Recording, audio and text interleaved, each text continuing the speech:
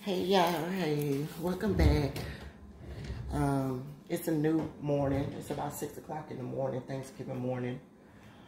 I needed to take a break. Um, but anyway, I'm back. So um, we're gonna just kind of get this um, dressing up and running. Okay, so in this pan, I have seasoned uh, some turkey, some turkey uh, wings. All right, they have been seasoned um, for about two days now. You don't you don't have to season them that long if you don't want. Um, but I did, and, and that's what they look like. On here, I have um, on top of my normal seasoning, which is my um, accent seasoned salt, garlic powder, um, onion powder. Um, I put a little sazon on there. I did put a little bit of poultry seasoning on there, and I also put a little bit of sage and some parsley flakes.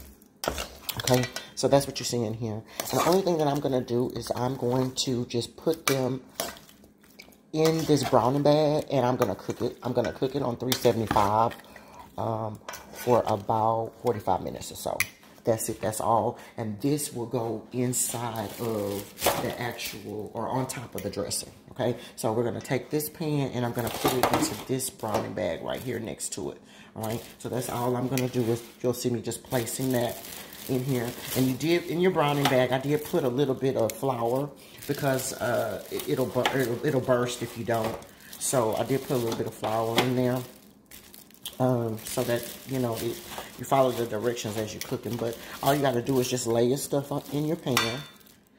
And then once you get it laid, once you get the stuff in your pan like you like, then you just close it up and put it in the oven and you sit, set it for 45 minutes and forget about it. You don't even have to worry about this anymore. And then what we'll do is we'll come back with the, um, I'll come back with the with the dressing. Let's let's we'll we'll actually finish the dressing in just a few minutes. Okay. All right. So I'll see y'all in a few minutes. All right, guys, we have all of the turkey in the pan. And then I do have a uh, Lipton onion soup mix. I know I love Lipton onion soup mix.